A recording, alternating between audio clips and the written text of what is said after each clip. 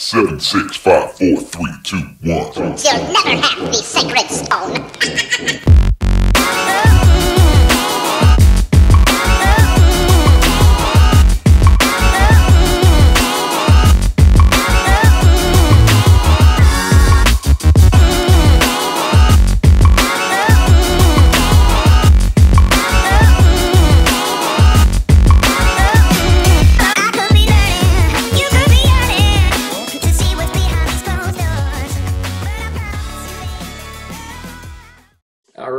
back to another episode of the Vegas Squares podcast. Middle of the week, it is our golf betting edition, and we are back here with the Waste Management Open preview show. And uh, we got a lot to talk about this show, and not a lot of it uh, has to do with Waste Management, uh, the Waste Management Open. I know that it's uh, it's a hot button issue this week with your boy Patrick Reed and you know, between embedded balls and burner accounts, it's a it's a hell of a gossip gossip filled show. I don't want to turn into TMZ or Wendy Wilson or whatever her name is, but you know we're going to talk about it a little. Yeah, you do. You kind of do. Let's admit it. You do. A little bit.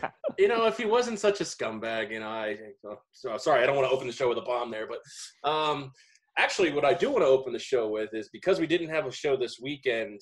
Uh, token, the Lions uh, are finally rid of Matthew Stafford. Sir.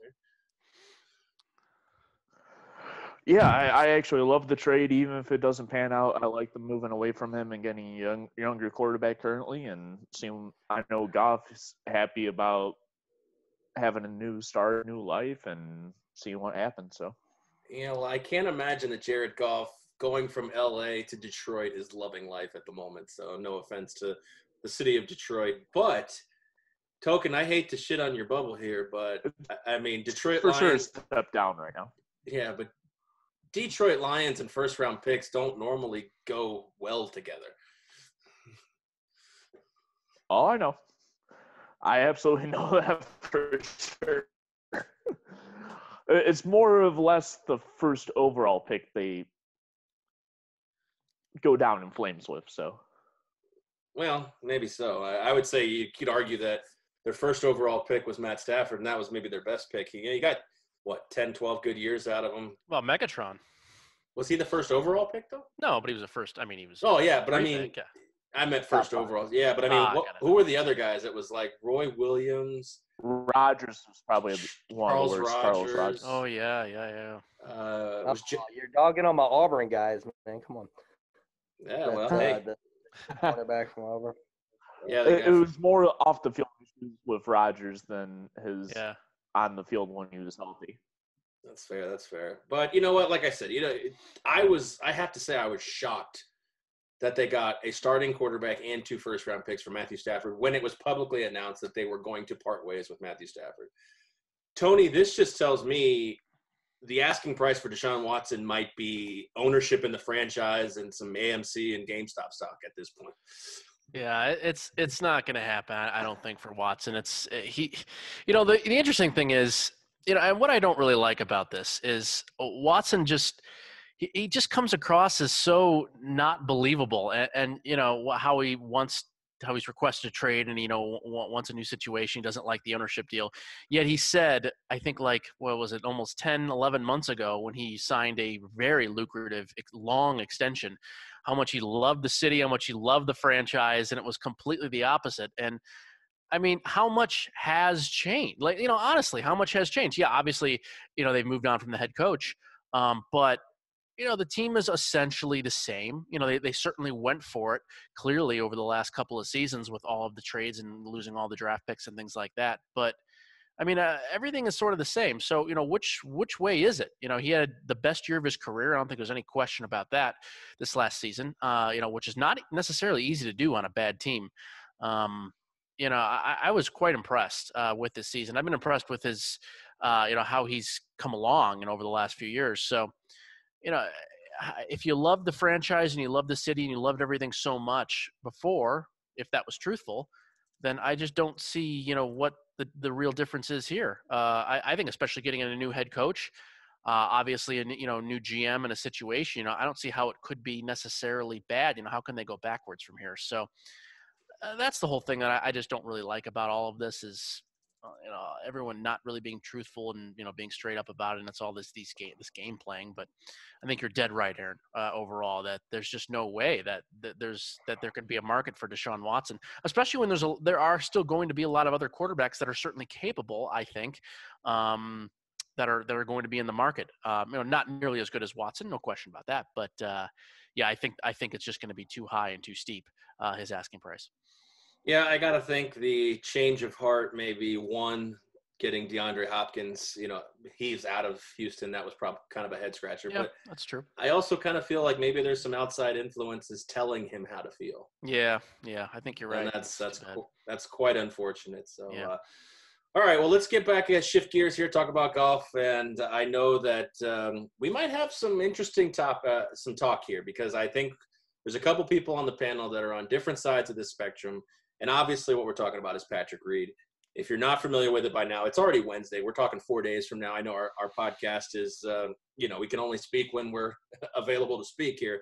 But, uh, you know, the embedded situation and and you know, I mean, like I said, if you live under a rock, basically on the on the tenth hole, Patrick Reed hits a ball on the TV cameras. It clearly bounces. The situation that happened at ground level is that no one could confirm the bounce. Patrick Reed decides to, uh, I, I guess, pick up the ball. I, I didn't realize that you could even pick up the ball before rules official, and then I started to learn about you know how you know the gentleman's kind of policing your own, you know, policing your own in that spot, but. Uh, the volunteer apparently was out to lunch, not paying attention to the ball. and when the rules official comes over, he's basically, you know, like it's kind of like when you know the teacher walks over. You know, you're trying to confirm that you didn't do something wrong, but all the rules official can see, well, I have to take you at your word that you didn't. You know, you're not laying in an embedded lie, but your ball, the ball's in your hand. So I mean, at this point, what are we doing here? At this point, why am I even called over?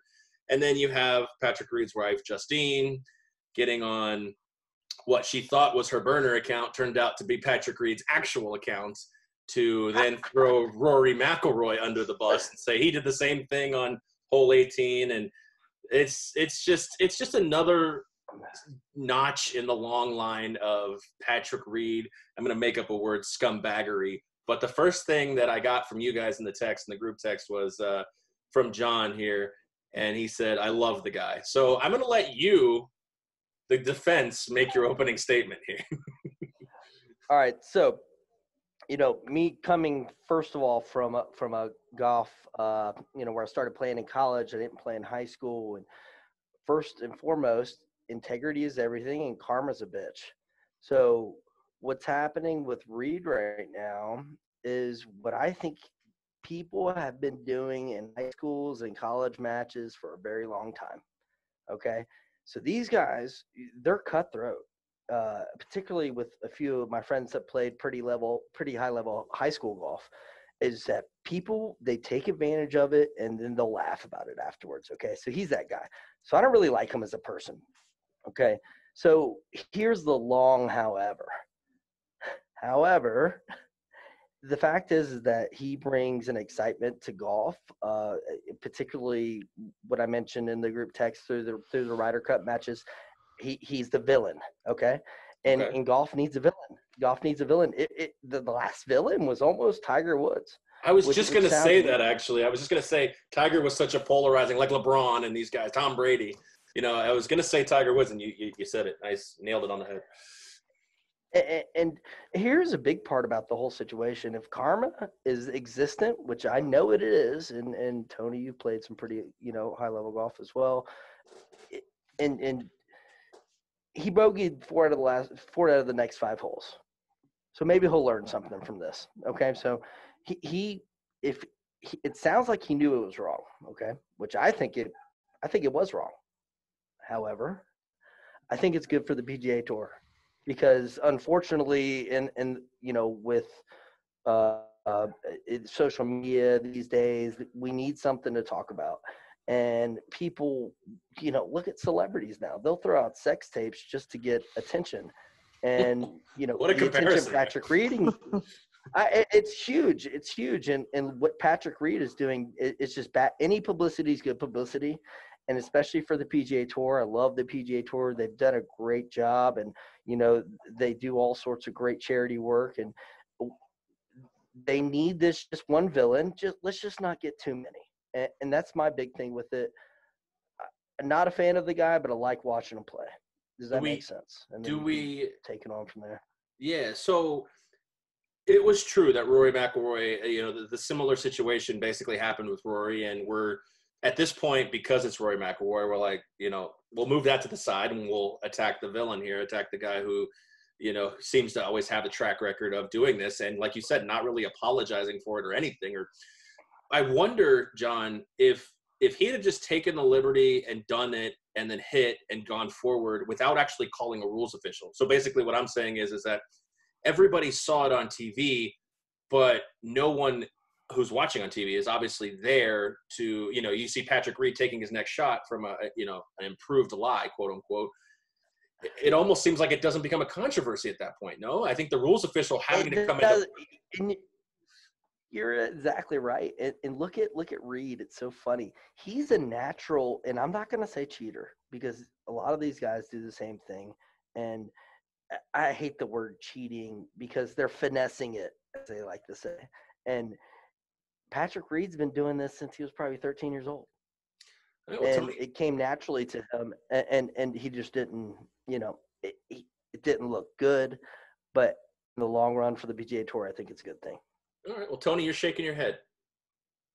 Well, no, I mean, I, I, I- think a lot of the things that John said are, are, are good and, and certainly on point. The, the thing I have an issue with is la- one of the last things you said is a lot of these guys are doing it, and I, and I, I just couldn't disagree more. I, could absolutely not disagree more with that. Uh, I, I really think, and especially we bring up Rory McIlroy, who is, I think, of the general peak of what we're talking about here. A guy that's always been straight up, a guy that has, you know, taken bad drops and accepted the reality of uh, of a situation. He's always erred on the side of caution in the in these spots. Um, I remember he uh, he he dropped i- i- in a spot that landed in someone's footprint and hit it anyway, just because he really wasn't sure um, of, of what it was, and he didn't want to actually have it look bad. You know, like he'd you know be in a you know he'd actually be able to redrop and, and have a you know a good lie. You know, things like that happened last year. Um, that's my uh, experience with this. Um, again, I didn't play anything, you know, past high school, but I did play with two guys that ended up playing on tour. One guy on the PGA Tour, one on some of the mini tours, and just my experience was exactly the opposite. You know, people always erring on the side of you know not doing too much to make it even look like. Uh, you know, you could be bending the rules at all. And um, again, I don't know a lot of the tour players. I spent more time actually working with LPGA players with some of the uh, teaching stuff and um, you know things we did with uh, boys and girls clubs and um, it's just that's not at all the take that i get um, you know from these high level players um, you know again that's that's only my experience um, I think Xander Schauffele said it probably pretty right uh, a few days ago that pretty much everybody on tour does not like this guy, is pretty much against him, and um, you know, and, and how much the tour has an influence on how all of this comes out. Uh, you know, again, and one of the other things that I, I'm not I'm not in agreement with is is I, I don't think all publicity is good publicity at all. I think that's one of the great things about this tour and what they've really tried to hone in on and how much they keep away from us. I think uh, you know they really try to keep uh, keep a bottle on on a lot of the, some of the bad things that have happened. You know, certainly the uh, the whole Dustin Johnson, you know, cocaine deal, and you know, ended up what ended up going down there. You know, that never really all came out, and I think that's pretty much on the tour uh, for it. They try to keep a very very clean. Uh, you know, good-looking record. This is not something that they want. Um, you know, long term. I think this is not something that anybody wants uh, on this tour. I'm not saying that not having a villain-esque type of a person is is is fine. That's fine you can have a fiery personality. You can be kind of a dick. Uh, there's nothing wrong with that. I think that's good.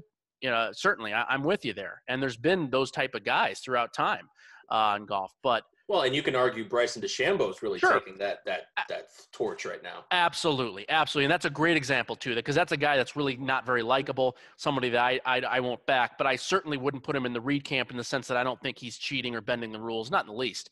Um, he's kind, you know, the way he goes about things, you know, he's he's he's just a prick about everything, but I don't think he has that ulterior motive. Whereas Reed has, as you said, since he was 13, uh, John. There's no doubt about it. They talk. No, I mean they've talked All to people all the way back from his Pittsburgh I got days. two Yeah. rebuttals This guy, uh, th- All this guy does this on a consistent basis. So. I- I got two rebuttals here if you guys don't mind me stepping in. First of all, maybe I've been hanging out with too many golf hustlers. Okay. Mhm. Yeah, Second of all, might be true. um, second of all, um, well, you know, we mentioned the, all the other times he's cheated. Do, do you know any other times that like it has? And when I say finessing stuff, and I what, what they talked about, I can't remember who it was. I think it was a PGA Tour player. How he sort of finessed the ball or whatever when they, and then you know, you you interview a couple, uh, and I'm talking about on the green when you mark your ball with the quarter, right? You know, you mark it way back And you- and and and in move it, these yeah. five footers and it's downhill left to right that little that little inch you know Yeah. could each Certainly, there's some guys that have done that. I- I'm not saying it doesn't happen, Yeah. but I just think it's a very, very, Yeah. very small minority, what- and they get called out on. The- like that doesn't. It's shit is not allowed. Like that's the thing. they did. Well, They I watched. Uh, Um, I I watched a What- podcast. what's with- what's the last As I say, I watched what's a the podcast. Scandal Uh, was it the For Patrick scandal? Reed, he improved his line of bunker. Bunker uh, a year- scandal, a year and a half ago. He has. There's been many, many Okay. times, three or four times on camera that he has placed his club behind the ball, three or four times, pr- pretty hard to try to lift the ball up in the rough so it could be. I mean, you look at it on camera, you can barely see the Ah, ball. yeah And i a see few other times the ball is like elevated, and I mean it's happened, but has Sure. it moved?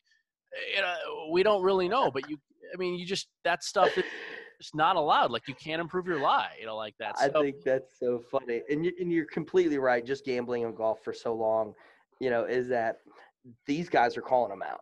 Okay, so as I mentioned before, I I do think. I mean, I I don't like the word cheating. You know, But that's I- what I he's doing. really That's what's don't, I happened. I mean, what other word do you use? he got booted off the Georgia golf team because he was an incessant Listen. cheater. I mean, it's it, it's basically happened. Ask anyway. Kevin Kisner's talked about this. That I believe his exact quote. This is classic Kisner, by the way. Is they wouldn't piss on him if he was on fire. His past teammates. Classic Kisner, but. That's, I mean, he said this at Golf Digest. Like all the past guys at Georgia, he's, the, Well, he's persona non like- grata. Like I said, I, I was love it. I was watching a Love it, podcast and Joel Dahmen was on the podcast and he even said it too. I mean, it, it's kind of a Kisner quote. He said he said Patrick Reed would throw the ball in the hole if you let him. Yeah. I mean, I mean, everybody. This is this is top to bottom. You know, I, you know, the same thing was Vijay So, Singh you're years ago. Same thing. I want to get Token here in this spot. Yes, and, let's hear and Token. I want to I want to hear yeah, kind I, of yeah, I know this is too much, right? No, no, no, no, not at all. I just want to get everybody involved, and I want to hear tokens. Like, how do you approach this as a more casual golf fan? Like, Patrick Reed has one of the greatest Ryder Cup Right in the matches in middle. history, Middle, right in the middle. but he's like, he's Captain America. He's like embraced this Captain, but no one likes him. But everybody likes Captain America, but not this Captain America. I'm I'm not gonna chime in too much about the video, but uh, how he handled the situation and the volunteer that marked or spotted the ball could have also worded it differently, in my opinion. Is uh, they did not happen to see it bounce or couldn't see it bounce, and they said. I mean, it- she could have been looking at ten million other things. Yeah. I mean, that's not her Sure. absolute number one job. to- You know, I mean, but the thing is, is okay, token. But I mean, uh, here we go. We've got television cameras everywhere. I- I- Yes. You know, is replay a thing for golf? I mean, or is that just way too long? uh, It would take five seconds to see. I mean, we all saw it. We saw it bounce, oh yeah, and it's almost, I would say, 0.001 percent possible that it got embedded. But other than that, I would say it's probably not embedded. It, it definitely was not embedded, and based on the first video footage that I saw, he pressed down slightly on it, causing a little lip. The second video I saw cut that footage out. So, with the publicity of the PGA Tour, Justine Reed got in the film they're room. they're they're, they're trying Wow, to amazing. cover it up a little as well. I mean, in my opinion, when in doubt, it should be played as lied. If you clearly could not see it bounce and for sure it's embedded, of course you get relief. It, uh, John, is is Patrick Reed lucky that fans aren't allowed at tournaments right now? Because I mean, could you imagine if, Yeah. he, if he plays the waste management and these fucking rowdy? right. I mean, Guys, here's the thing. If it Oh, was. Sergio, It's if it was Sergio, they would have made fun of him till the day he died. Since it's Patrick Reed, all social media has to say is okay it's captain america. Everybody's gonna be like yeah you know go patrick reed. I don't really think the fans would go too crazy. However it is up to the other to- players on tour like we were talking about with xander and uh, i think it was Finau, um, that were talking about it afterwards and that's a good thing. That's a good thing. Uh, i think uh, just that little bit of you know spark and then he goes on to win by five boys. Telling you it, it, he he can you know uh, he, I'll give it to you guys. He cheated. I will give it to you guys. But he bogeyed the four out of the last next five holes. He should he would have won by eight if he didn't cheat. Well, here's this. Okay, Yeah. I'll liken this to something in my world. The Patriots are accused of deflating footballs in the AFC Championship game, however many years ago, in the second quarter. They went on to win by four touchdowns, but everyone says they still cheated. I'm a Colts fan. I remember that game, and I There- I thought it was bullshit. I thought it was bullshit the whole time. Th- this whole deflate gate thing. So what? No, I'm not saying everybody, but you know, there's people out there that will never give the credit where credit's due. I mean, they still won by four no, touchdowns, I- but no, I- that's what I'm saying. As a Colts fan, and you guys kicked our ass for how many years, right? And I didn't think it was. I, I really didn't think it was a big deal. Okay, slap him on the wrist, tell him not to deflate the footballs anymore, and let's go. I mean, we got our ass kicked that game. And that's what What are you that's kind of where I, I see with this. Yeah, he won by five, but you know, if this shot goes squirrely sideways, you know, if an, if it's a not embedded lie or you know, you lose. You know, hey, Tiger got a ten on number twelve at Augusta. Anything's possible. So at that point, so all right. Well, that's. Uh, anybody have any closing statements on on on Patrick Reed here? Uh, we can wrap up and turn the page. Um, getting head shakes. So we'll, I mean, his his mental fortitude up. is pretty nuts. Uh, that's all I can say. The fact that he still won that tournament, the fact that he's won a major, uh, it's hard to do. Him and Vijay Singh are in a class that that I, that I've ever seen uh, on their own. To be in, that badly disliked and people not wanting them around, um, the great majority of the tour, I think we're pretty convinced of that. And then they can still win tournaments and still be great players. Is that's really, really, really hard to do. Uh, and, so. and Vijay's thing is from like 30 years ago, isn't it? Oh yeah, he cheat, cheated to stay on tour. Yeah, it's really bad. Yeah, Uh, but I mean, you're right. They they, they don't forget. They just literally pass the don't. pass this on to the next generation. And It's say, it's "This- incredible. We hate this incredible. guy. Yeah, And and Vijay did a lot of things that were very squirrely throughout his PGA Tour career as well. Um, yeah, eh, he was never a guy that was ever accepted uh, by the players on the tour, and he, I mean, just still dominant. He had a you know great dominant run. That's just so damn hard to do. So, if you want to give Patrick Reed any credit, his mental fortitude, I'd love to have a conversation with the guy just to hear, you know, what he goes through and what he talks to himself and what he does in the course. This is fantastic stuff in that sense. Whatever you do, don't buy him tickets two tickets to a sporting event either. So yeah, He'll- right. he'll just complain about it all. He's so. such an asshole. He really is. And People you know might throw bottles and cans at him. But to wrap it up here, it's just like he doesn't even like take a, like a, even a even if it's not if he's if he's like because he's taking the full blown ain't my fault I didn't do it approach. Even if he's like, hey, something weird may have happened. We we did we, you know we we tried to come together to make the best decision. That's all you gotta and say. Yeah. Something may have gone wrong. I'm sorry. You know, all, even if you don't it. mean it, even if you don't mean it, That's all you gotta do. Yeah. uh, maybe yes. I said if there were fans here, just based on the spirit of the moment and prisoner of the moment, John, I think they'd let Patrick Reed have it for 100 percent sure. Yeah, and, and as I said, everything in golf is integrity. We all know this. We all play golf, and it, you you know, I always bring it back to gambling. Like, if if you cheat a little bit, oh, you're gonna get your ass kicked. Oh yeah, and you will never live it down. single. And if there were fans there, they will let them know that it did bounce. I'll tell you what. Oh, it- yeah, it's just one of those things where, where yeah, yeah, and, and uh, there should yeah the fans should have gotten in there. I completely agree with Token here. That was that's a that's something that should happen before we make this heyday. But however, we're gonna get we're gonna get more viewers next week on the PGA Tour, and I don't think that's a bad thing. That's fair. That's a that's a fair argument. I mean, like you said, any any chance to get eyeballs, even if it's just for hating a guy. I can understand both yours and Tony's side of that. You know, as the purist, you know, cheating is cheating, and it's not good for the game. You know, but uh, at the same time, if people are watching Mm-mm. just to hate, then that's another viewer, that's another set of eyeballs. So fair enough. I, I can respect that. Saudis are happy too. He's out in Saudi Arabia this week, and they've already sold out their allotment of tickets. So that's, that's pretty nice. There you go. Yeah. and and and they can say things in languages he doesn't understand. so, all right, how'd the farmers go? uh, how'd the farmers insurance go for you guys? I I had one bet, Zalatoris over Si Woo, and with a missed cut, Si Woo cashed, or uh, excuse me, Zalatoris cashed in for me. So, how did it go for you guys? Well, I went uh, over. Uh, didn't I? Only had I think three matchups, uh, and they did. They all went uh, over three, and then um, yeah, the uh, I missed a bunch of cuts. I think uh, one of the other um, futures did not come in. So yeah, an over I think seven or eight week in the PGA Tour. Uh, came close to hitting uh, Robert McIntyre in the uh, European Tour. That would have been nice, but uh, still had a couple matchup wins over there. So slight win in the European Tour, but uh, of what we talk about here, uh, not a good week for me. Yikes! Yeah, same with me. I went over four in my matchups, and about the closest person was the co-leader after round one was uh, Noren, and went down the toilet after that. So Mhm.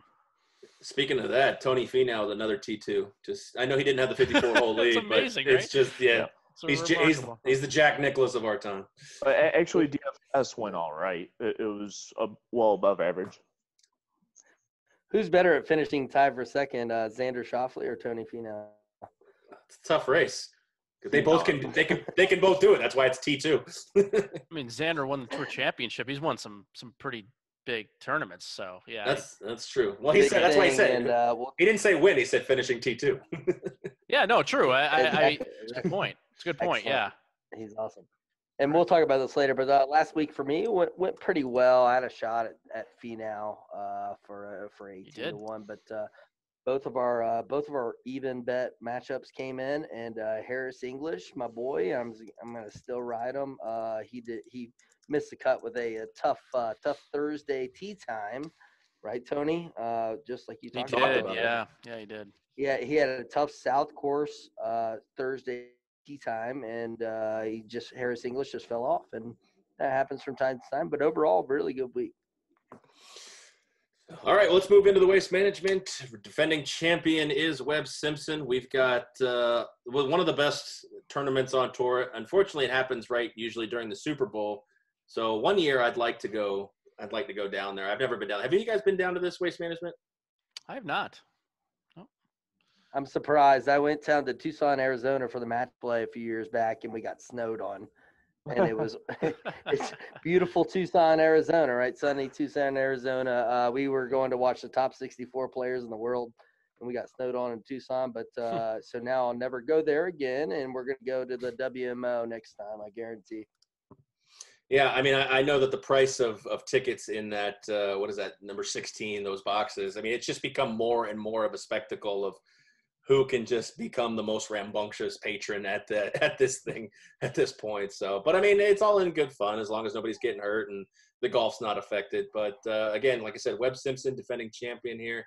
Uh, Jon Rahm is our favorite, currently going off at William at William Hill at seven to one. Uh, initial thoughts about this tournament here, guys. Like I said, I know it's right usually during the uh, Super Bowl, so it, it has a hard time getting eyeballs, especially on Sunday. But maybe Patrick, the Patrick Reed saga, even though he's not playing, might change that. Maybe people who aren't even paying attention will watch it thinking Patrick Reed's even in it at that point, and maybe stick around and stay tuned when he they realize he's not. So, uh, initial thoughts on this one, Tony. What do you? What do you? I mean, I, know that this is about when you said you get going here, so uh, I know that you're really kind of dialed in for this one. Absolutely. Yeah. No, this is one of my favorite events. Uh, I do enjoy uh, watching this one for sure, like for all the reasons that you mentioned. And uh, yeah, it's a lot of fun. You know, the great rambunctious crowds. And it's not just the 16, but, um, you know, they there's just tens of thousands of patrons throughout the week. It's one of the most, uh, you know, well attended events, you know, on tour year after year. So it's a fantastic thing. Uh, you know, wonderful event. Um, We're You know, still gonna get five k a day. I- Yeah, 5K a day, you know, so that's nice. But um, yeah, and the fields have gotten better and better as the years have gone on too. Kind of as as this tournament has made a name for itself. You've seen because this used to be kind of a moderate, you know, type of field. It was just another event kind of thing, you know, 15, 20 years ago. And now, you know, we- we're seeing usually four or five at least out of the top ten in the world here. Um, you know, no change in that this this year as well. You know, we we see Rahm, you know, JT, McIlroy, uh, Schauffele, uh, Matsuyama, guys like that. You know, it's a fantastic field. Um, still a lot of local players, guys that have grown up here and or now are living um, in this area. So you get kind of that local vibe as well. Um, yeah, it's a great tournament. It's a fun course. They had a redesign, uh, which we might get into later, you know, four or five years ago, which I think made it a lot more difficult, which uh, is fun. Um, you know, a little can be a little bit weather dependent here, but uh, I really like the course. It's fun, uh, good spot, and uh, yeah, great tournament all around. I couldn't agree more with you. And, to, and token, I mean, this is not usually a spot where we see Rory McIlroy, but he's kind of uh, ramped up in the sense of, I mean, he's staying here. Usually he's with Patrick Reed over there in uh, Saudi Arabia and stuff. But uh, I mean, is this kind of an exciting thing? I know that Rory's basically said, you know, the COVID has altered his schedule because going back and forth in and out of these countries is just not something he can do right now. So getting a, a top flight player like that, along with you know guys like Justin Thomas, the aforementioned Schauffele, and we get a a field of guys that uh, is exciting to even the casual golfer. A- Absolutely, some long hitters that usually are more in the Sau- Saudi area around this time, and uh, de- definitely uh, a fun course to watch these guys that can shoot really low. Especially, I mean, some even longer Canadian hitters in this matchup uh, category as well. Uh, it's going to be an interesting one to watch. I mean, ki- kind of good that they did change the course five or six years ago but it would have been cool to see how they would have handled the shorter, easier course and potentially may- maybe another hole one on a par four. I mean, 20 years ago, only PGA Tour ace has happened at this tournament. On 17, that was Andrew Magee. True. Very nice. And John, we got uh, the defending champ, like I talked about, Webb Simpson going off at 16 to 1. We know Tony Johnson's philosophy on, on the, the defending champ in the prior year. Usually he's preoccupied with other things. But uh, Webb Simpson seems kind of like a different breed. He's one, he's a, a vet on tour. What kind of chance do you give him, even despite all the distractions? Uh, Webb's a fade here. Uh, you know, he, he went on that run last year, and uh, basically, yeah, it, it, it's the, just the truth. And I completely agree with Tony that uh, that first of all, we, we all know about the uh, post-win comeback. We all know about that. If you win the week before, it's very hard, unless you're Justin Thomas or Rory or Tiger, or, you know, Phil, someone like that. No, these guys can't reel off Twitter, but especially for Webb, where he's not playing as good as last year. First of all, where he went on a massive run, looks so good, and uh, now he's gonna have to come back, and he's gonna be distracted.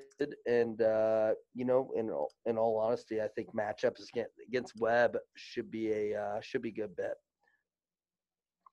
Matchups against Webb. There you go. You got it. I, I actually am looking forward, token here, uh, to this. Before we get into the course outline, we've got uh, a hell of a featured group here in Webb Simpson, Gary Woodland, and Matsuyama uh, coming up on Friday. I, I mean, you've got just Scottsdale domination here. Like I said, Simpson's defending champion, uh, has four top tens at Scottsdale. Uh, Gary Woodland won in 2018, and then Matsuyama went back to back in 16 and 17.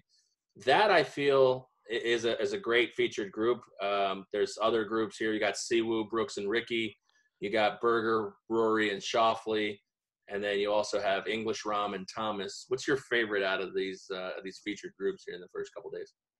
It's definitely the Berger, uh, McIlroy, and uh, Schauffele one for me. I mean, three of the better golfers in the world, and one that hardly ever is around in the United States around this time of year because he's usually played in the European, and that's Rory. I mean, it, it's a rarity to see and a hidden gem, especially on the TPC Scottsdale course, to see him play on it. So, You got to figure one of those guys is probably going to finish second in the tournament.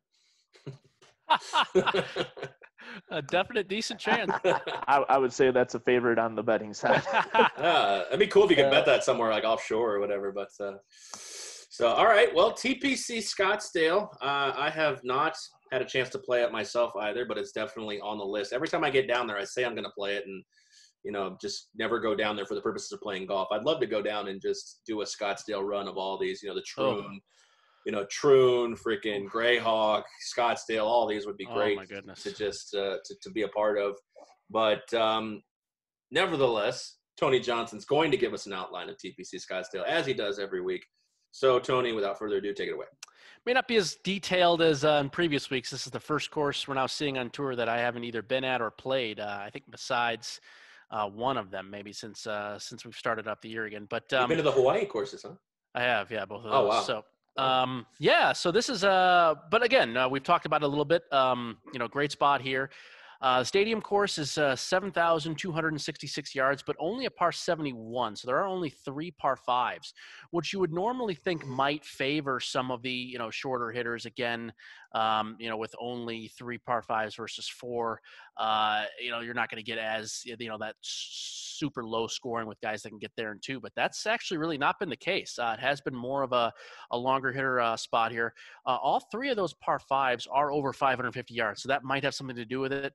Um, and really, only one of those is is reachable in two by the majority of the field. The other two, you really have to get it out there and hit a very strong second shot. Sometimes actually over a hazard uh, just to get it there. So I think that's probably what plays into this a little bit more. But um, you know, Aaron, you brought it up, and I think it's important to note that this is the first tournament that there will be actually some spectators here uh, on the PGA Tour. Uh, Five thousand a day, as you said.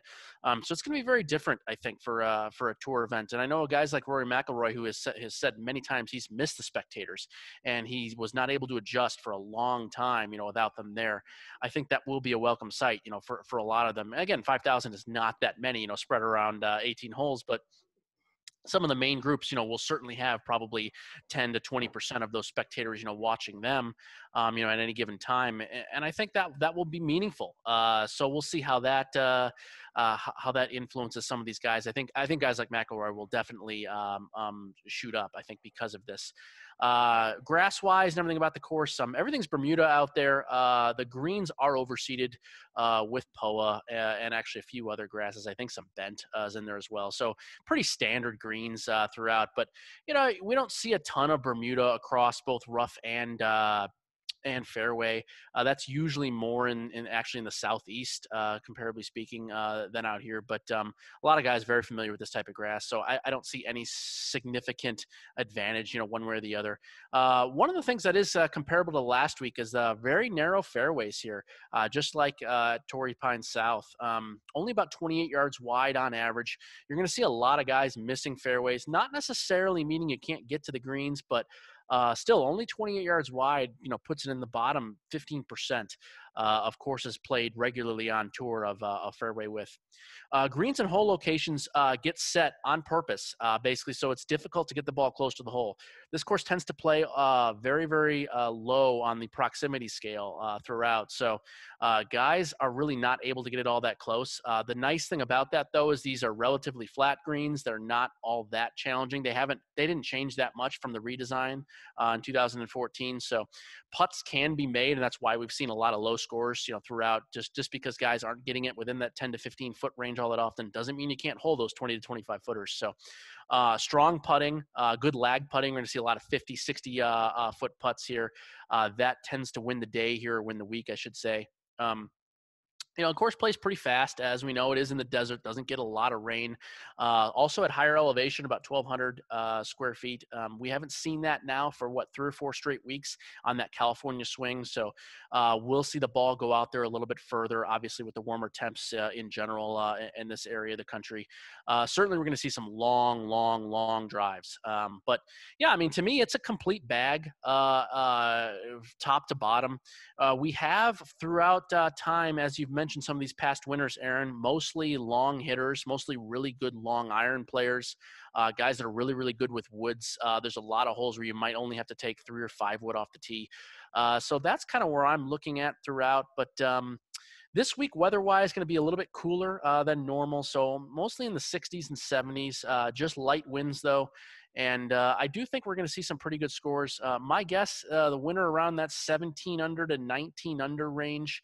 Um, nothing all that different, you know, from years past. We have seen it go under 20 before, but that was only when the conditions got soft, when there had been a lot of rain, uh, either beforehand or during the tournament. Uh, Rickie Fowler, uh, the year he won a couple years ago, they actually got some rain, two or three out of the, uh, the days there. So uh, certainly was very scoreable. But I think we're going to see a pretty traditional tournament uh, here, and um, I'm expecting some pretty low scores, especially the top end players. You see all these top end guys like Rahm, even McIlroy seeing the, the course first for the first time. I feel like this plays into a lot of their strengths. Uh, you know, we we talked about Bubba Watson, how it fits his eye really, really well. Uh, I think the top end players, it really, really fits them. So my guess is we could see maybe one guy go at 20 under, and then you know second and third place maybe being 15, 16 under, or, so, or something like that. It's it's a course where you could see uh, uh, quite a good week from from one of these guys. You got to think Jon Rahm's seen this course at some point, and the guy lives in there. Many, many times, yes. Yeah. So, but maybe seeing it in in PGA conditions is a little different. Yeah, that's that's fair. So, all right. Well, we're gonna go ahead and and take a little quick break here, and then when we get back, we're gonna dive into the futures, matchups, etc., all the betting, all the picks, all the predictions that we have for you every week. So, right on the other side, we're gonna be back in just a couple of minutes. We'll see you then.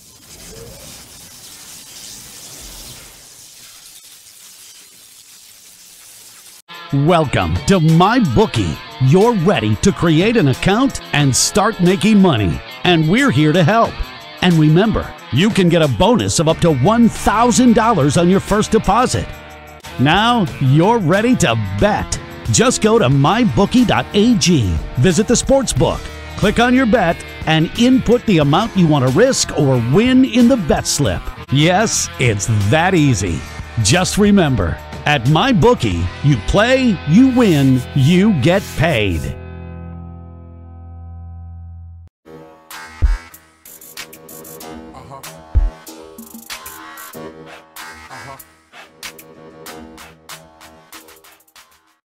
At Amazon, we're pretty good at getting things done. We're pretty good at solving problems. COVID 19 is the biggest challenge we've had to face. But challenges are what motivate us. Like flying masks to our employees around the world. We're doing everything we can to get you what you need, and doing everything we can to keep our people safe. I'm former Navy pilot Sarah Rhodes, and I'm proud to lead our Amazon Air network.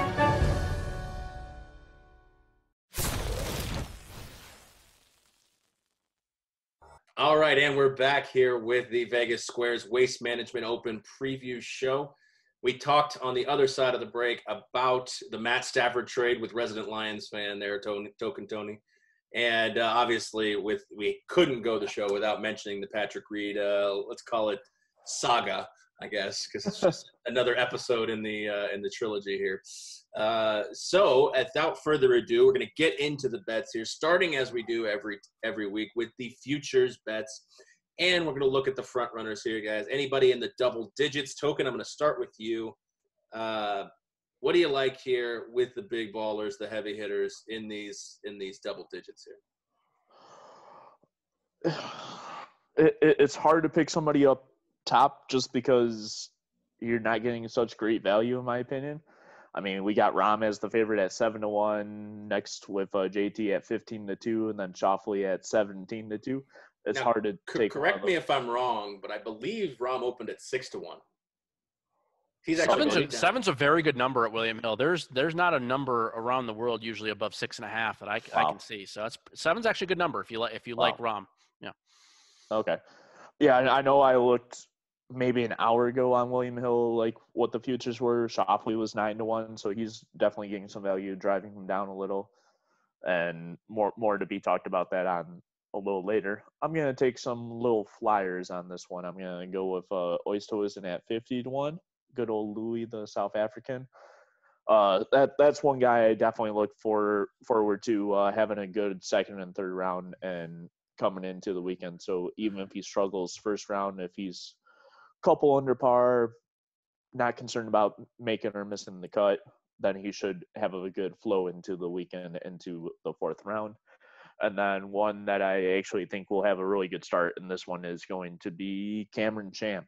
Uh, definitely a solid hitter and long iron player. Uh, I, I actually think he's a dark horse in this one at 90 to 1 to uh, make a solid run.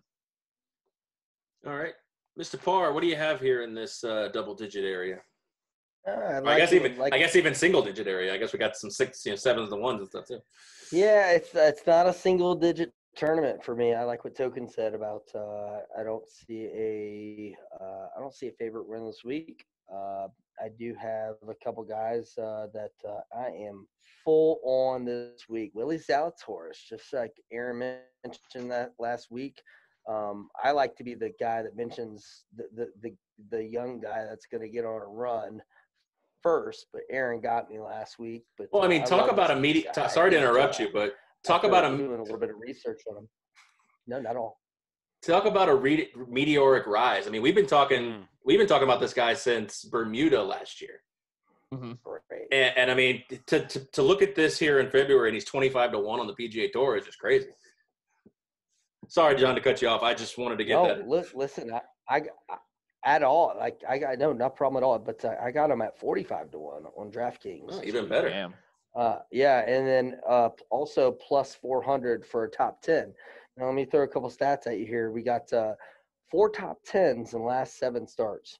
You guys have to understand he's only played fifteen PGA Tour events. Okay, he played seven events in uh, 2016 to 2018, and basically he came on. Uh, he came on tour. I mean, early early last year, like you guys were talking about, but uh, you know, I got him at 15 events, but his last seven events, 1.1 million dollars. His first eight events, fifteen thousand dollars. Wow. So Wow. that that's an amazing stat right there, and I love to look at the money, and that tells a lot. It's sort of like the official world golf ranking, and uh, I just love this guy, and I'm looking at him th- this whole year. Um, if he starts falling off, missing cuts, fine. If he, you know, if let, let's say he rolls, let's say he rolls like a you know 15 this week, 40 next week, and then he goes five five, and then like a 15. This is going to be a guy we're going to look out for. Okay, because I he agree. hasn't played a lot. He hasn't played a lot on the PGA Tour. So I got him at 45 to 1 on DraftKings and plus 400 for a top 10. Okay. And then uh, my, my second guy, and this is a flyer, it's 85 to 1. It's Sam Burns. Uh, you know, he's been on tour for I think like four years now, but only full exempt status last couple of years. And he's at uh, he's at 85 to 1, or he's got a couple top tens, but I've been waiting for this guy to break out because of his uh, his very known, well known, his very well known uh, amateur career. So we'll, we'll see what happens with him. But 85 to one, uh, Burns and Zalatoris for 45 to one. I think that's great value there. Yeah, right on. I mean, and and not to pat myself on the back without mentioning company. I mean, Token was betting him on the Corn Ferry last year. Oh, Token's been talking Yeah. about him since day one. It's Yeah. amazing. Amazing. Yeah, him and uh, That's amazing. Taylor Pin- Pendrith were uh, Yeah, two of my bigger backers on uh, Corn Ferry. and they were two of the guys dominating Corn Ferry last Hey, year. It's that amazing because if you get one out of two of those right in golf handicapping to for a guy to go on PGA Tour after uh, you know basically paying his dues on the Corn Ferry, it, it, it's something that people don't see, so you get the value out of it. It's totally fair. So. All right, Tony, I got a two-part question here for you. Um, I, obviously, moving into the double digits, we want to get what you have in this spot. But I also want to see if there's any of these guys that you got your eye on that maybe you're not going to fire now, but if he has a poor first, you maybe it's somebody you could fire on on Friday. Absolutely, yeah, and, and it kind of goes back to first of all what what what John and Token both said. I I, I hate to kind of echo, and you know, I, I we like to have differing opinions, but I agree with nearly everything that that that's been talked about. Um, the one thing that I will mention is I, I, really think the odds are tight uh, this week, especially in the futures market. I, I think they're really really well priced, and the top maybe seven or eight names off the board really fit the course, I think, really well. And a lot of those guys are playing extremely well right now. Of the little golf that we've seen, they're playing well. So, Aaron, to your point, um, I think a weak first round from nearly anybody, barring an injury, Uh, and barring one other thing that I like to look at is when guys have two-way misses, uh, and we can now utilize uh, ShotLink, which will be uh, back u- uh, in use here this week, and you can really see where the misses are uh, with ShotLink. You don't actually have to be watching, you know, the telecast or something like that to be able to notice it. Um, I don't like two-way misses, especially off the tee when guys are not knowing where the ball's going to go. Uh, you know, if you're missing on one, you know, one direction, that can be sort of corrected. You can get to the range and figure it out, and or you can play for that a little bit more as it goes on. But if you don't know where the ball, the golf ball's going, you just basically have no chance. So, barring something like that, um, you know, Aaron, I would say that uh, you know a weak round from uh, from a guy like Schauffele, uh, who has uh, you know a really strong record here over the first uh, what four times he's played. I, I, don't think he's been outside of the top twenty or top twenty five.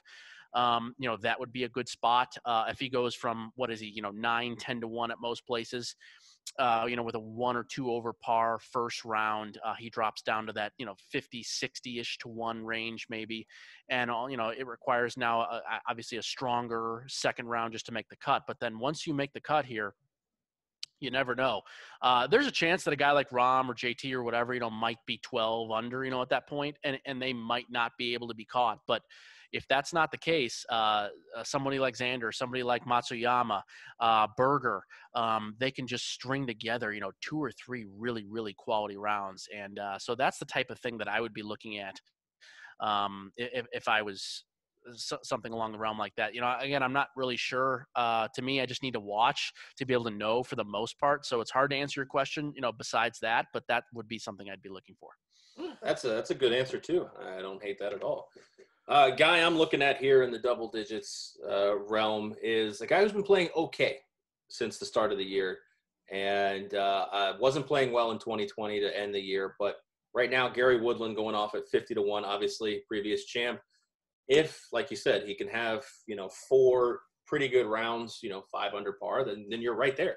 Like you said, 20 under par might win this thing, as Tony mentioned earlier. So uh, I'm looking at Gary Woodland. Also, I wish I could have found Zalatoris at 45. I would definitely be all over that. But I'm going to sprinkle a little bit on the uh, Will Zalatoris money line there at 25 to one. So. Yeah, and I, I, let me throw one in there. I didn't get to the actually only one guy that I have. Uh, I'm only going to have probably two, maybe futures, maybe three. I'm not sure. Is uh, Byeong Hun An, um, which I Benny. yeah, Benny is fun. Uh, I picked him up at 95 actually over at Circa. I know he's 75 or 80 here uh, Will Hill. But uh, yeah, Benny's a guy I like to. He's streaky as hell, and he tends to play well at places that he's comfortable and or that he likes. Very similar to Bubba Watson in that sense because he can't putt. So we need to find a place where he's really comfortable, and uh, this is it uh, for Benny. He's four for four here with two top tens. Um, he's talked about, he's had, I read a couple of quotes where he's really comfortable at a course like this, uh, where you really have to string it out there uh, with long irons and woods and not necessarily with driver. Uh, so I'm going to hope that Benny can maybe make two or three putts over 20 feet. Uh, there's a great stat out there when uh, when on holes four or more putts from 20 feet or longer during the week, he is five out of six making a having a top five across wow. the European and PGA tours. So, again, do we know if he's going to make putts? We don't know, but uh, he's as comfortable as he is out here. So, uh, ninety-five to one. When on is on, he's on. That is there. Oh, it is. Jeez.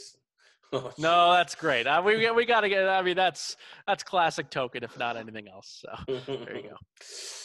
All right, well, let's move into the long shots here. And I tell you what, it's so crazy to look at this and to look down these William Hill and see at 100 to 1 Jordan Spieth, it's almost just like heartbreaking. But, you know, hey, if there's ever a time you want the guy to get back on track is when you're getting triple digits for him. But uh, token, uh, again, these these guys, Emiliano Grillo is the start.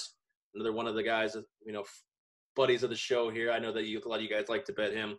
Uh, Emiliano Grillo is the start of these triple digit guys. So, token, let's see what you got here.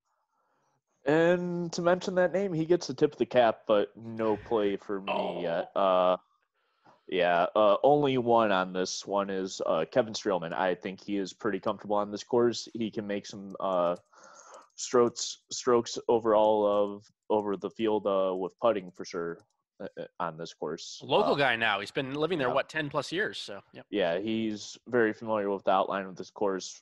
Avoids the tr- troublesome areas and if he misses the green, I, I really like him in up and down situations. So it's going to be a good week for him. And if you can find him for top ten, probably right around the eight to ten to one range, take it. You know, I was going to ask you that. Um actually, just anybody who wants to field this question is, you know, there's a lot of guys here. You know, you, you, you talked about, you know, with Pat Perez, Joel Dahmen in these triple digits that, I mean, are there any value, any gems right there with these local guys, with these local ties who I'm sure have played Scottsdale? Is there anything to find in there, John? Absolutely not. And, and, and the thing is with Spieth, and, and you know, you know, to you know, since we've had a, you know, we, we haven't been button heads enough, Tony. You know, Koepka, that's a that's another fade this year. Spieth and Koepka, they're they're fades. That I really feel that they got in the limelight very quickly, very you know, very fast in a short amount of time, and that that, messes with you as a golfer you know those steady eddies that can go for a long time. Uh, th- those are the guys I look at, and uh, as I said, like guys like Koepka and, and Spieth, I think they're a fade this year. I'm not. I wouldn't put them in the same class, in my opinion. Uh, you know, Koepka. I think the reason he had a, subpar year last year was mostly injury based. Um, and uh, but you know, when he's on and he's healthy, uh, you know, he's he's a I- top I- ten, top My 20. big thing with Koepka is I think he's looking for a bodybuilding career rather than a golf career right now, and uh, I say that as a joke and also seriously. I think it's uh, one of those things he got thrown in the limelight, and you know, and he's like this guy, and that's why I like fading DeChambeau. Same thing this year; they're getting thrown in the limelight, and we all know as golfers, you have to have low expectations. You, you can't, you know, put put any added pressure on you. And Spieth, Koepka, DeChambeau, those three right there, that's that's a that was a big spotlight for those guys to go into out of nowhere. And uh, I, I just golf handicapping is more about the fade than I think the than who's playing well. I couldn't agree more with that statement. I totally agree with that. Uh, the problem is it's it's impossible, I think, to fade Spieth because he's so far down now. I mean, I don't know how you really do it. Um, I mean, if you're getting 125 to one on a guy, you know, who really should be a lot better than he is, it you know, it, it's kind of tough to do because he's not involved in a lot of matchups anymore. Uh, that's the problem, and and you're paying a premium for that. So. I mean, yeah, if you can find a spot, great. Um, I'm still going to look for a spot to hit Spieth, uh, and again, spots where he's comfortable in. Um, you know, I did it a couple of times last year uh, to actually pretty quality results uh, because when he actually is comfortable and he loves going to a place, he almost tends to play well no matter where his game is. Uh, but I mean, I couldn't agree, agree more with you. The people that have faded Spieth over the last two years, uh, they've made quite a bit of money. Matchups, anything you know you come up with, really. Mhm. You know, no top ten type of events. If you have, if you're on a book like that, oh my goodness, uh, you've you've done very well. So I, I totally agree with that. And you know, as you said with DeChambeau, you know, the numbers are just not going to work for him the majority of the time.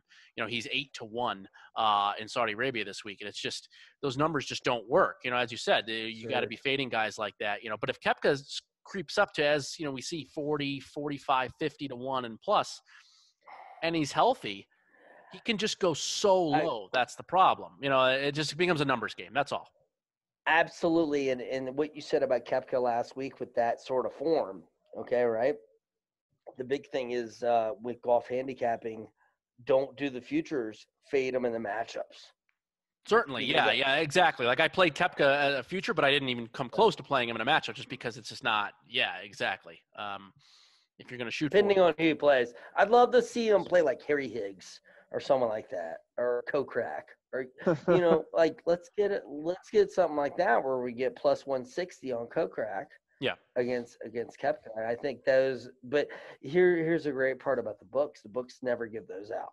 They only they're only going to play him against Spieth because he's struggling the same way, you know. So All right, I asked a question. Now I forgot where we were. So who's going next? three digit pick I, I, I I think it is Tony. you want me to start it yeah i don't i don't know or we, we were going around the horn i think it was token uh, I know Token gave his. I don't know if John, yeah. I don't know if John gave us some triple I- digits. I did not have any bottom dwellers. No basement bottom dwellers. Yes nice Basement dwellers. No basement beautiful dwellers.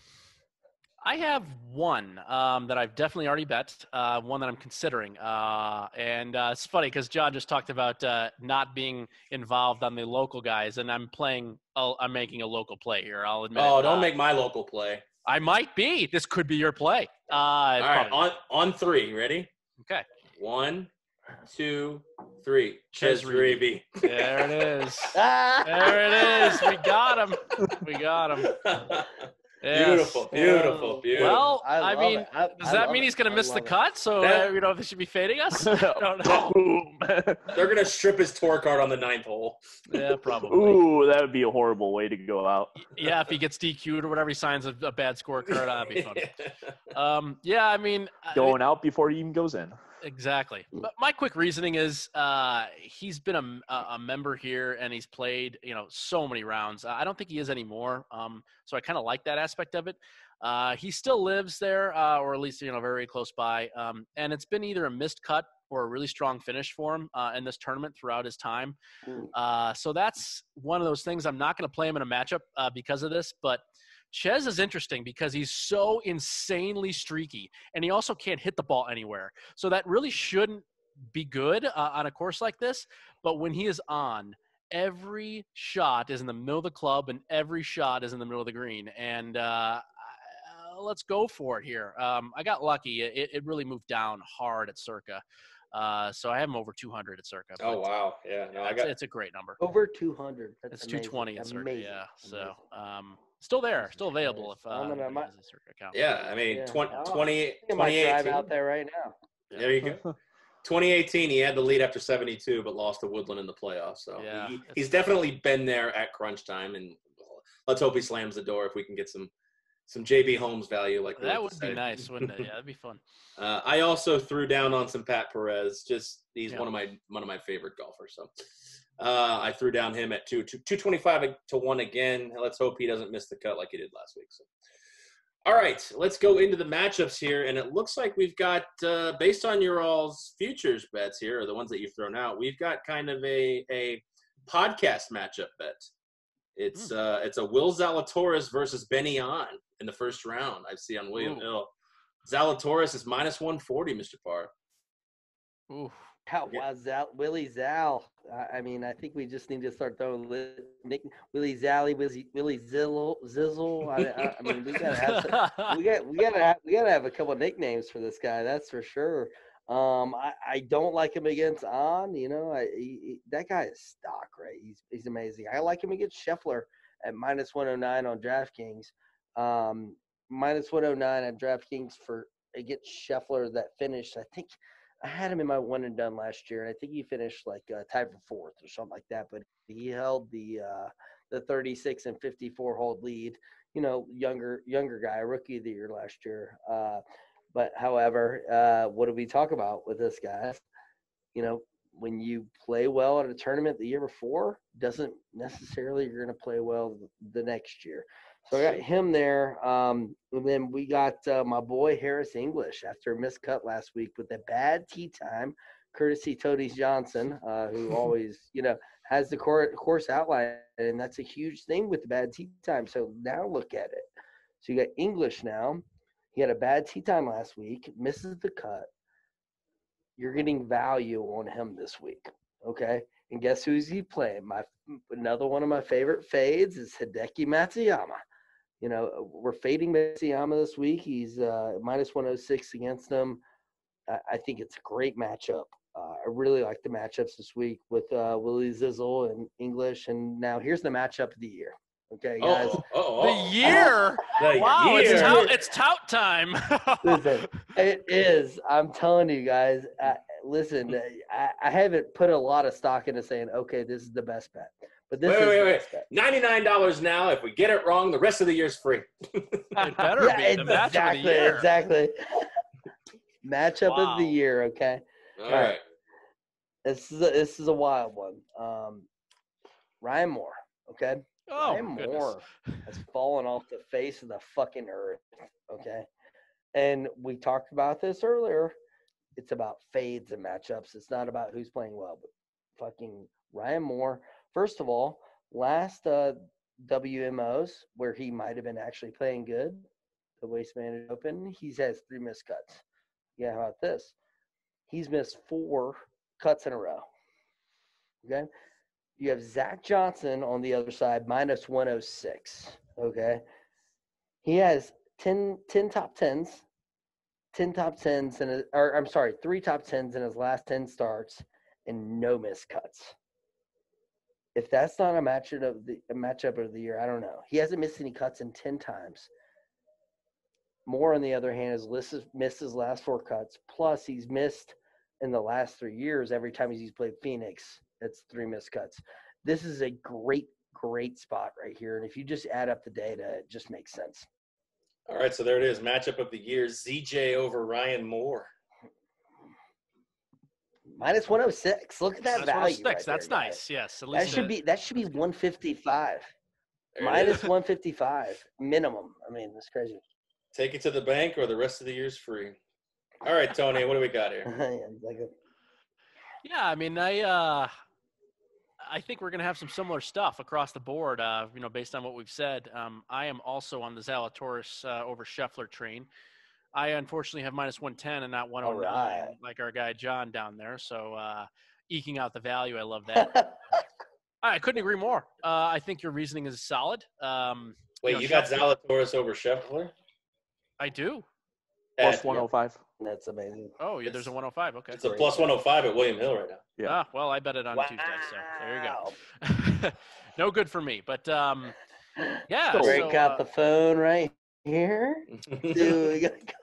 Bloop, bloop, bloop, bloop. there's another one with Zalatoris because uh, again, I wasn't sure that 40 or 45 or wherever the case is was enough. I know he's down to what 25 or something like that, one spot. Uh, I, I just didn't bet him, you know, in the future market, but uh, I have Zalatoris over Russell Henley, uh, minus 120. Um, that's over at South Point. I, I just Henley just doesn't fit this course really at all. Um, again, more of a southeastern type of player. Uh, courses that are shorter, uh, where you can kind of get after. And uh, Zalatoris is just playing so well right now that I think he just can, you know, just crush his ass, uh, you know, long term in a spot like this. So those are my two Zalatoris spots. Um, and then getting back to uh, Byeong An, uh, have him over Carlos Ortiz. That didn't work out too well last week. I bet against Carlos Ortiz, and uh, Carlos had a really nice tournament. Uh, but we got An over Ortiz plus 100 uh, as well. And then the last two are Gary Woodland, uh, which I know you're definitely on here, Aaron, um, uh, this week.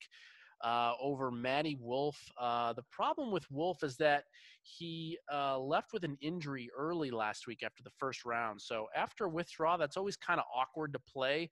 Um, but the fact that Woodland minus 105 here uh, over Wolff, I decided to take it anyway. Um, just because I think the course fit is great, as we've talked about here with Woodland, and the fact that he looks like he is over his injury himself that he uh, had to go through last year. Um, he started to play a lot better here uh, early on in the season this uh, this this week. And then I think my favorite uh, matchup is really amazing. Another uh, John Parr special, which uh, he talked about sort of fading and not being behind Webb Simpson here, and I, and I think just think this number's great. Is Daniel Berger over Webb Simpson plus 100 um, over at South Point, and uh, just really like that spot here. Berger, a, a, a total um, eh, Bermuda grass kind of. I wouldn't say specialist. I didn't want to say the word specialist because clearly he's become a great all-around player, but um, has certainly done most of his damage uh, on Bermuda type of tracks. And uh, he's five of six here with three top tens, and um, has really just been rolling uh, ever since the restart of last year. So. Uh, yeah, I just think it's a really nice spot here against uh, Webb Simpson, who I'm not, you know, a huge fan of this week, and Berger just brings it every single week he plays. So those are my matchups this week. All right, Token. There's been 26 hole in ones in tournament play since the Phoenix Open, Waste Management Open, moved to TPC Scottsdale. The hole in one prop, yes, minus 140, no, plus 120. I already have it written down. Hole in one, yes, minus 140. There, There, there are five potential holes where a hole in one could happen. what, 16, 17, 12. Four and I think it's Two par threes on, on the front. seven or something. Yeah. Yeah. I got an interesting question for the group right here. Do you think it's better? Do you think, as far as a value play on the hole in one prop, do you think it's better that fans are there or they're not there? I think it's better Mm. that fans are there. I I agree, especially on hole 16 and uh, on this course. But th- there's definitely five doable holes on this one. Of course, 17 being a far stretch, but I see it likely that there are multiple holes. There was one. Well, let me ask you this: If you're one of the lucky five thousand fans to be able to attend, what do you do? Do you hole 17. Do you just sit on a hole, or do you scatter? Me personally, I'd probably No, start you, uh, watch everybody tee off, and then go to hole 17 and watch on the green. I think what you do is you find a spot to gather all fif- 5,000 fans and you go group for the group of like Joel Dahmen, Harry Higgs, and Denny Tucker. McCarthy. And that, and, and then you just get everybody there at one time, you know, and don't do it for Tiger, don't do it for Rory, don't do it for fucking Xander. You know, you, you do it for the guys that would actually appreciate it. And then you could throw beers in the air just like when Tiger hit the hole in one. It'd be a great thing. Zoltars. Well, I mean, yeah, the Zaltars, if it hits it, it'd be great. But I, I've been to two golf tournaments in my life, and I've sat, I've parked on a hole both times. I feel like I'm missing out, even though I see everybody. Is that weird? There's no right or Depends what your wrong answer. I like walking with one group. Or I like walk- walking with one. I like it walking with one group, and uh, do that for like nine holes, and and do it with people that'll appreciate it. Just like I said, go with the Pat Perez. Perfect example right there. If Pat Perez is at a golf tournament that I go to, I, I want to go to his group, and we're just gonna be like chugging beers and stuff like that. That's what I was he's gonna be thinking. like, yeah, you guys are cool." Shotgun a hole. shotgun a beer. There we go. That's what I want to Yeah. do with Pat Perez. So. All right, Token. It's time for your matchups. Let's reverse the 0 and 4 trend and switch that to a 4 0, please. Uh, four four no, including the prop because I am on the whole whole. Okay, one, hold, yes, yeah, you're right. Minus one forty. I only have three matchups this week. Our low play currently is Schauffele over Thomas. I was able to find it at minus one or a plus one hundred five. Now now it's currently down to minus one ten. So got the value good while I could. Our mid play is going to be Brendon Todd over Matt, Matt Kuchar at even.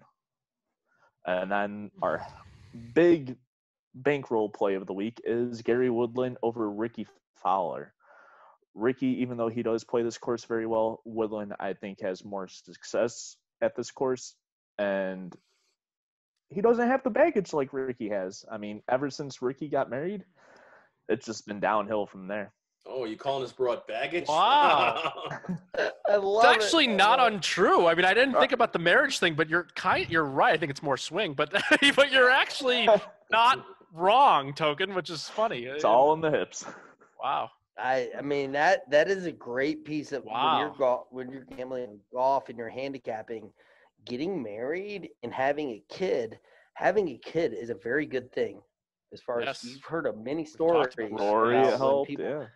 Yeah, and then but now getting married on the other hand, May not be as the generally same is thing. a, yes. that that's a fade. That's a fade. Jordan Nope. Spieth too, by the way, got married three years ago, and It, uh, Yeah, yeah, been on the downhill. Yeah. We, I Oh, think we it's solved true.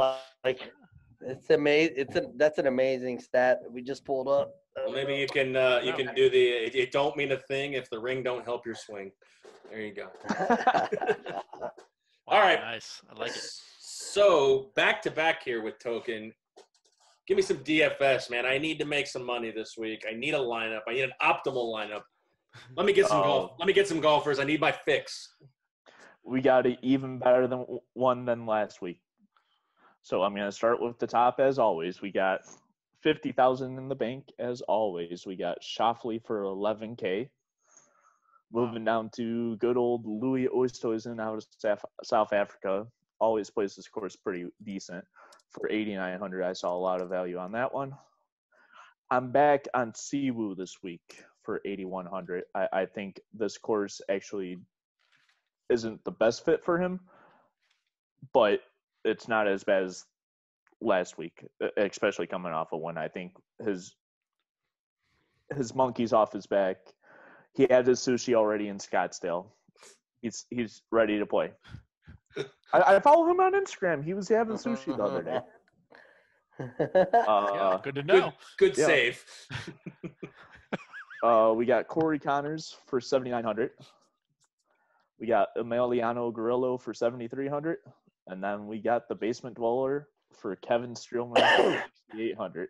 Basement dweller Kevin basement Streelman.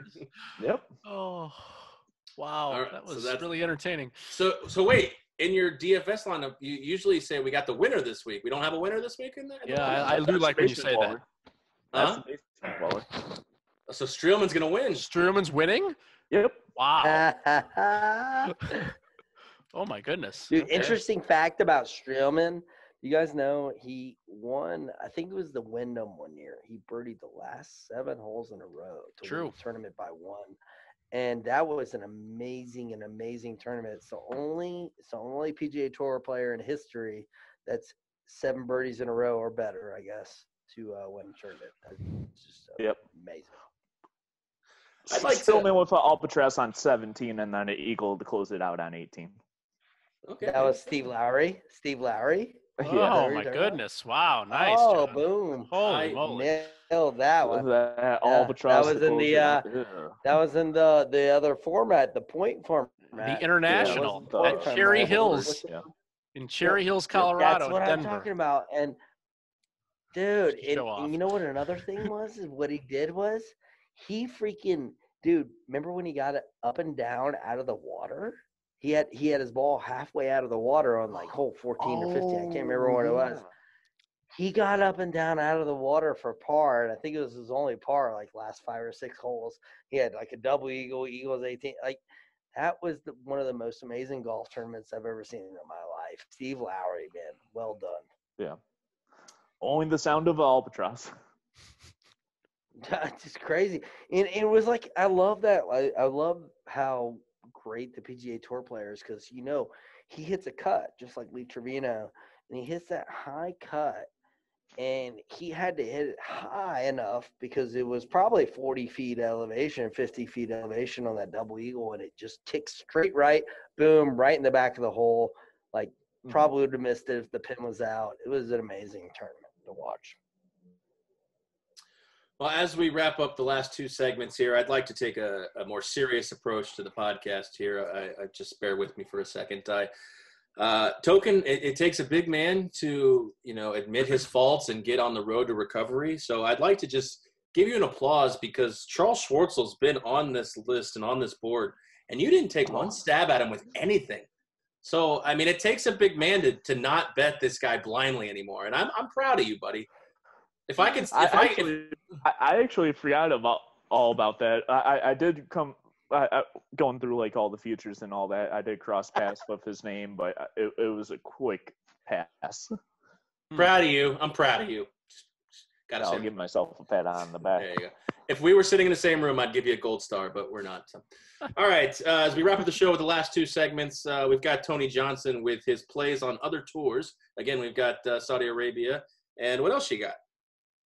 That's what I got this week. Uh, I don't think there's much other play in the other tours, to be honest. We think everybody's off. So, uh, yeah, Saudi Oh, Arabia, one of those uh, classical Middle Eastern events where they just throw a bunch of money at people to show up, and uh, it has worked uh, this year. So we got a lot of even our guy Kokrak is uh, is actually over there uh, this week uh, from the. Yeah. tour. So that's kind of entertaining. But the people it. they've paid to show up uh, from the PGA Tour success: Dustin Johnson, Bryson DeChambeau, Patrick Reed, Tony Finau, Viktor Hovland's getting a small check.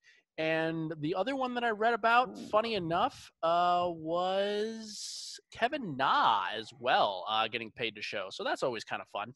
Um, this is actually weirdly enough, we think of just kind of desert, sort of, you know, middle earth type of courses out there. This is actually on the coast um, here. It's a coastal trek that plays along the Red Sea. And uh, so winds can be a big factor uh, out here, and they will be uh, actually on Thursday and a little bit into Friday. But uh, yeah, I mean, this is a very scoreable type of course. Uh, the one thing to note is uh, Paspalum grass throughout. Uh, we've talked about that before. Mayakoba, Puerto Rico, Kuala Lumpur, spots like that. So some of these guys that have had a good record there. Graham McDowell won this tournament last year, despite the fact that it looks like it might be more of a bomber's paradise. But Graham McDowell has played so well on Paspalum uh, uh, in the past. So I always thought that was a little bit interesting. Um, anyways, I'll be quick with my uh, few plays here. Um, DJ is the favorite here at four and a half or five to one. I mean, just crazy numbers. Uh, not something I want to be on here, but I certainly wouldn't, you know, try to fade it. Certainly. Um, but uh, plays that I've made here, I picked up Viktor Hovland before he moved down at 18 to one. He's now 14, 15, 16, depending on where you look. Hovland in 18 uh, has done well here. Obviously, he's winning Puerto Rico. He's comfortable on a grass like this. Um, and uh, I got Shane Lowry at 55 to 1. Let's see, Kurt Kitayama at 150 to 1. And that's it for the future bets uh, matchups. We got Lowry over Andy Sullivan minus 125, Viktor Hovland over Tyrrell Hatton plus 100, and the third and final one, something I don't really ever do, but I think this number should be like minus 500. Uh, but it's it's minus 185. I hardly ever play a matchup like this, but it's Tommy Fleetwood over Phil Mickelson. Uh, Phil has played in this tournament the last couple of times they've held it, uh, and I think that's part of what's going into this because he was a he finished third and he finished 20 something a couple of years ago. Uh, but Tommy Fleetwood has never played here before, and if Fleetwood had played, he would have finished quite well too. Uh, Mickelson not playing well, not in the same realm as Tommy Fleetwood. Uh, so to me, this is a minus 300 type of spot here that's being priced at minus 185. Uh, Phil just cannot hang with Tommy Fleetwood uh, in spots like this and where you got to score. So we're going to go with Fleetwood over Phil Mickelson. As I was gonna say that's a new one for you, man. Minus one eighty Rare, five a matchup. very, very Yeah. rare. I just think it's it's just men against boys type of thing. I to me, I, I don't see how he can hang. All right, fair enough. All right, so we're going to wrap up the show here with a new segment, become a, a key fixture in here. Uh, John Parr. We're going to call this John Parr's One and Done because that's basically what it is. John Parr uh, has for many years done a Survivor League. I'll let him kind of explain that. And uh, you get one golfer every week, and then you don't get them anymore. So why don't you elaborate on your one and done and uh, give us that pick? Absolutely, we'll do. And uh, first and foremost, I love the Hatton fade. It's a great fade this year. He played amazing last year. He's a putter, just like Luke Donald was, and Donald was a fade for a long time after that. All right, so so this one and done league, we have 60 people in there. I won't disclose the amount of money that we bet on the uh, fantasy league, but we have 60 people in there, and what happens is you pick one golfer a week. Once you pick that golfer, you can't pick them for the rest of the year. Whatever they make in money that year or that that tournament, uh, you'll add up towards the end of the year. Uh, the, all these guys hate me because I've been playing it for like six years and I've I've done very well. I the the first year, unfortunately for me, because they make fun of me all the time, is that I won. And uh, you know what? They came up and gave me my prize money in all one dollar bills. I thought that was a great thing. Strip club time. It sounds like Either way, um, so it was it was amazing, and and it was just like one of those subtle jabs that only good friends can do to each other. Um, so. Uh, so far this year, I've taken uh, we're in our fourth event at the Waste Management, and I've taken uh, Ryan Palmer, Scotty Scheffler, and Tony Finau, which I had a good good kick last week for about 450k. Um, so it got me like right middle of the pack, maybe just above middle.